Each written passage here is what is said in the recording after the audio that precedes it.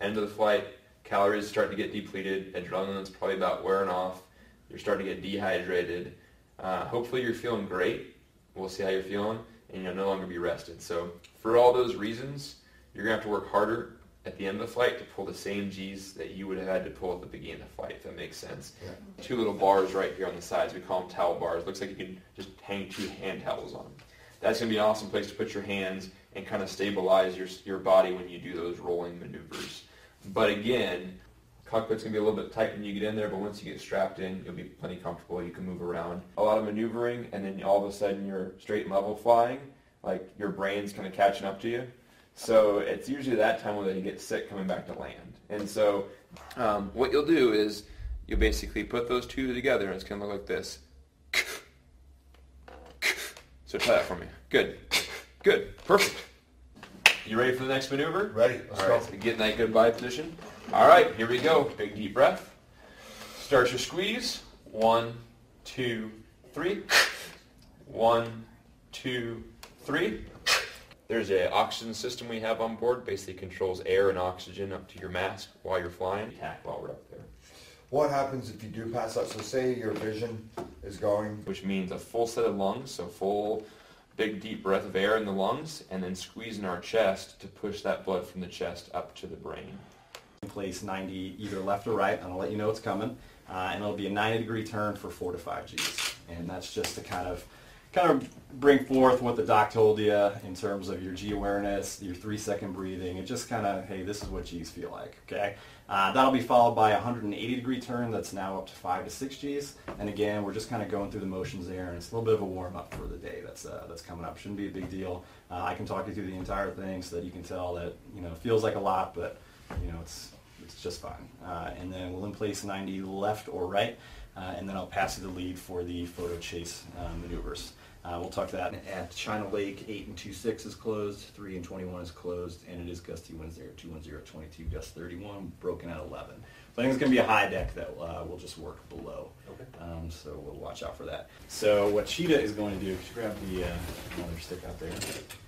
Inverted to inverted, meaning you're upside down. We'll roll right side up, but then continue to roll back upside down and continue for about like a mile like that. So we're going to get a nice good amount of airspeed, about the same amount that we used for the vertical pull there.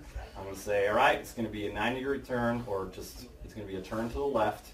Okay, I'm going to roll this up. I'm going to light the afterburner, so you'll feel that. I'm going to say, here come the G's. And it'll be a pretty smooth application up to about 7 G's. And then I'm going to increase it from 7 to 9. It's going to be pretty short. So this is kind of like a short duration, high intensity kind of, you know, not 7, 7, 9, 9, 9, 9, 9, and then we're done. Okay? Uh, and that's the time where you want to make those good three second exchanges with your breathing, tensing up your legs, your butt, and your stomach uh, to keep the lights on upstairs. All right? Uh, so that'll be good. What this is going to be, and this is a pretty high G one, we're going to get a pretty good amount of airspeed here. So we're talking, you know, 550, 600 mile an hour type of thing. And it's going to be a 6 to 7 G pull straight vertical. And then once the nose is purely vertical, we're going to roll to the left uh, and, as we go up. Okay? Smoke and roll off. And I'll say, hey, Jerry, look out the left side of the window. Uh, and then I'm going to go ahead and pull this sucker in the front seat. And what that's going to do is immediately blow the canopy off, and that should start the ejection sequence. If that doesn't work, then I'm going to basically say, hey, Jerry, man, you got to pull that T-handle if mine doesn't work. Okay, I'll be very plain English about it. Uh, so that for the uh, for the T handle there. Again, this is like emergency on top of emergency. Have you actually ejected nope. practice of that? So no, you I don't want just, to It's either, just all theory. Yep. I didn't yeah. know if there was a way you could practice that. Uh, there in pilot training, there's like a they'll like send you up a, a couple of rails, uh, but it is nothing compared to what I've heard is the real thing. So is the real thing, Harry? Uh, I imagine so, but it's one of those things where by the time you know what's going on, you're under the canopy and right. Uh, and feet on the rudder pedals. Feet on the what? On the rudder pedals. Those will be uh, when you get out there. The pilot will show you kind of around all the different egress things in the aircraft, and the mm-hmm. rudder pedals will be right okay. there. So you'll have your just the tips of your toes on them. Okay. Mm-hmm. Uh, pretty big. It's about the size of this table, and and that you know about this wide. I gotta twist this. Uh, what does that even mean? What's the canopy? Your face says all. This, like I said, stop me if we're going too fast or uh, you're recovering too much. But that would be one of the uh, malfunctions that you could run into. I, I'm not going to ask a question because I'm going to presume this is not going to happen. I am listening, Yeah. but I'm thinking if this happens, it's going down the way it's going to go down. I'm not going to have much bearing on the outcome. and, and keep and keep in mind the most important thing that you're going to want to do is be in a good position for coming down. And 28 foot canopy, you're still going to get, you know, you're still going to get some air under there. You're still going to be just fine. they're in charge of the other um, other bases. They kind of I don't know what the, the correct name on it, but they're in charge of um, that everyone falls into. So you have Air Mobility Command, which is in charge of all the cargo. So getting like big, like It's just sticking in shot like Air Force One and, and all that. So it was funny. Well, it was interesting because I didn't expect that. It just it was funny that it was like in the trailer. Yeah. But we're we And then on the side here, this is uh, the bayonet receivers. This is where the mask connects here. So it'll go in in three clicks, right? Just like that. Okay. From here to here now. Okay, so it looks like you're a medium wide. So I have you put it on just like a regular helmet, pull it apart, roll it from the back to the front, and then we'll make the adjustments. You should roll it from the back, so like this. Yes, sir. Just like that.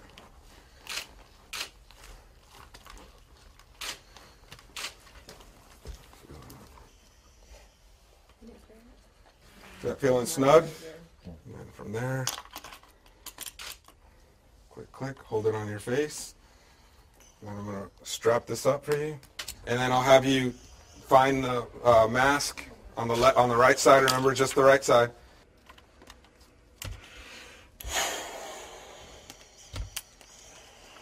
Perfect. If you need to try that maneuver, just let me know. Just take your time, get a feel for it, and then we can move on to the next um, thing we got.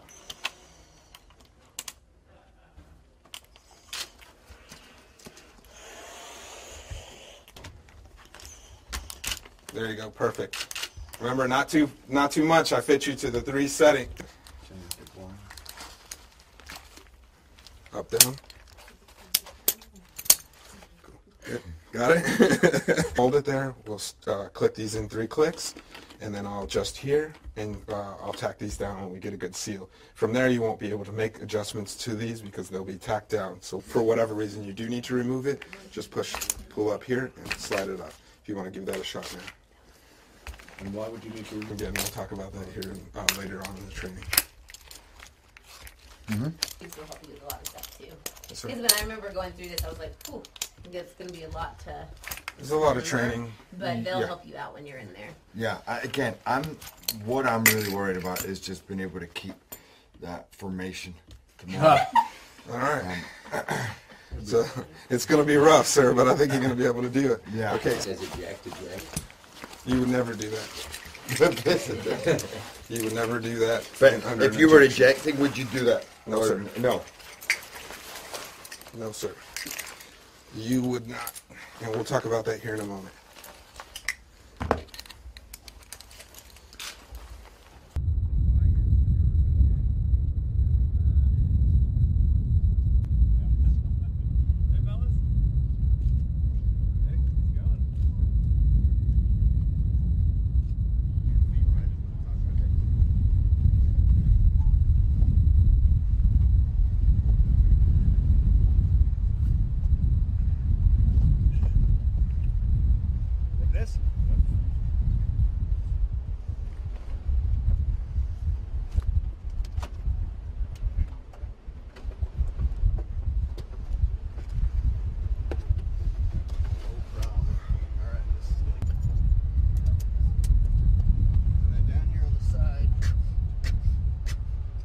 Like this. Practicing. Oh, it's once every three seconds though. Let's go ahead. Let's go ahead and throw it on. Put the chin strap up, and then we'll practice putting the mask up and off. There you go. So chin strap is next.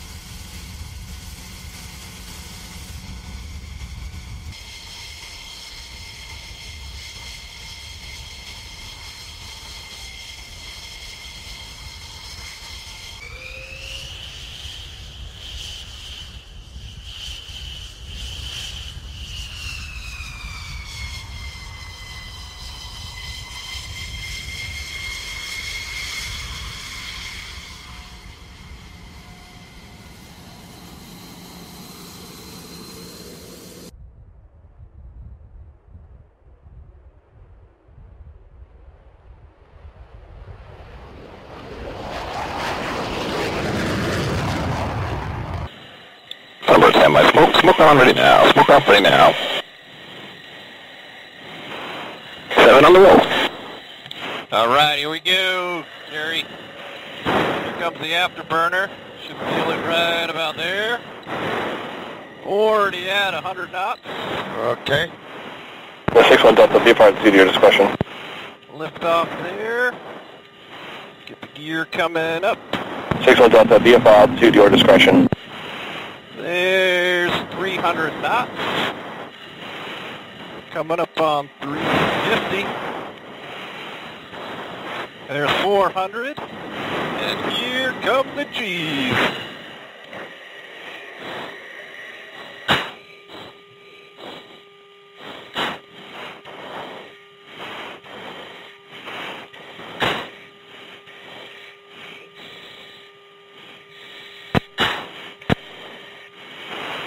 See, that wasn't so bad. You crushed it oh, already. Oh my god, that's the best thing I ever did in my life. oh my Archer god. Thunderbird 7 is airborne. We're leveling VFR at 8,500 for weather. All right, we're going to do vertical rolls now, okay? Okay. So, get us some nice airspeed here.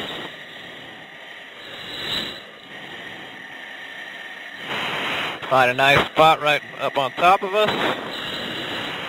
About ready to go. It's going to be a good pull on straight out. 1786, Ready? contact okay, so this is the tense one? Yep. Okay. Okay, here we go.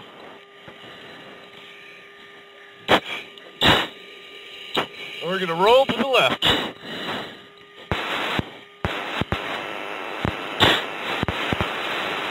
All right. Now, if you look over your left shoulder, you'll see our smoke a little bit. Yeah. Way off to the left there. Where? Oh yeah. oh yeah. All right, do you want to pull any more G's or are you done for the day? No, I wouldn't mind pulling more G's. Yeah? Okay. Yeah.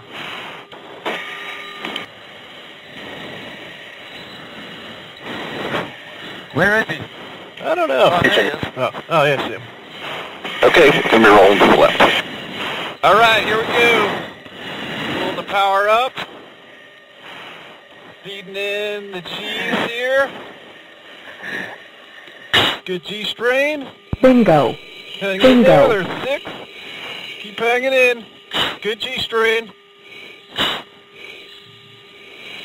You're doing good. Almost done. You're almost there, Jerry. There we go. He's enough. Oh. Oh. It's Joker. Cover Joker. Yeah. Yeah, that one's a workout. Yeah. Ah.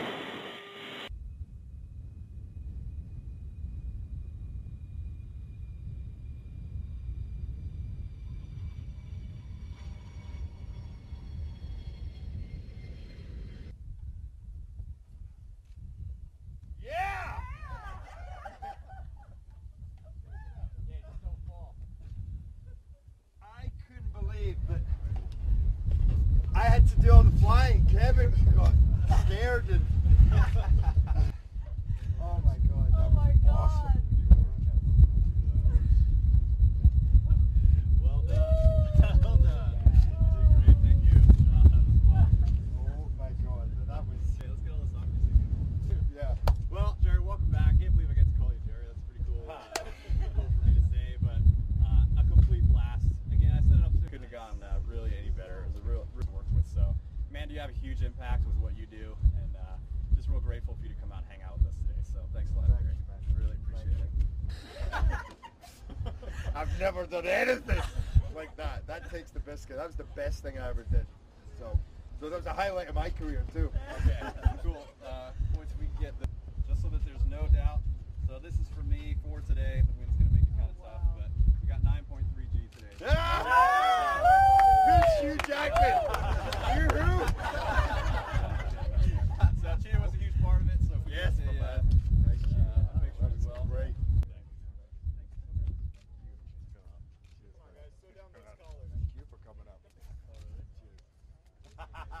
Thanks,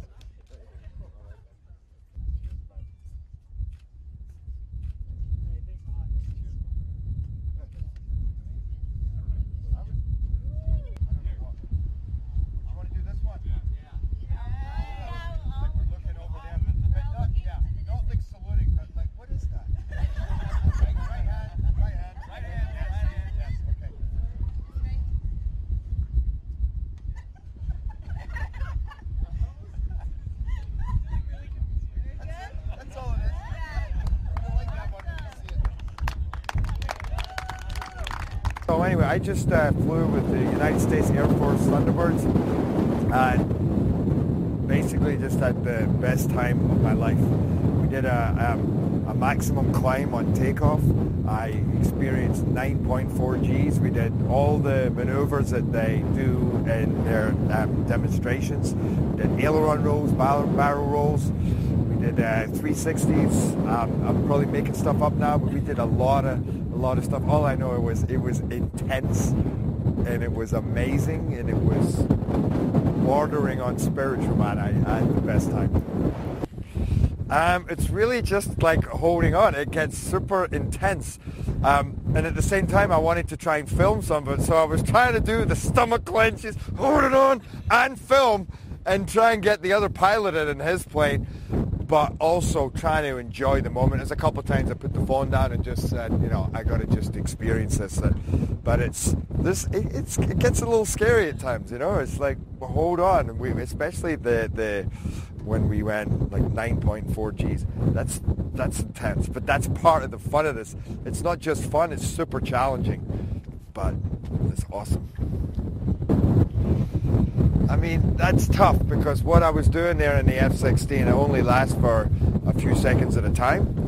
When I'm doing those rolls, it's months at a time. But when you get to the extremes of what I was just doing, it doesn't get more intense than that. When we're, you know, pulling some of those moves and you are clenching and you're, you're holding on for dear life, that's pretty extreme. No, I just had I just had the, a great time, and the, and I have to say, what really struck me was how lovely and humble the crew are, and how appreciative, you know, and my pilot Kev um, was just amazing. But everybody today has been fantastic. That's been part of the joy is just how nice they've all been, how much time they've given, and how excited they were, which made it all the more exciting for me. It wasn't just uh, here, and you come do this. They were all just really positive and warm, and part of the beauty of it.